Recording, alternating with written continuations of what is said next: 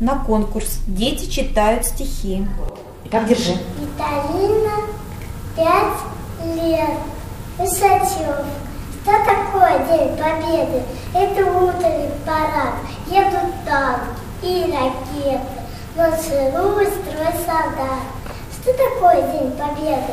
Это праздник и салют. Мишура взлетает в небо, летает там и тут. Такое День Победы? Это, это песни за столом, это речи и беседы. Это дедушкин альбом, это фрукты и конфеты, это запахи весны. Что такое День Победы? Это значит нет войны.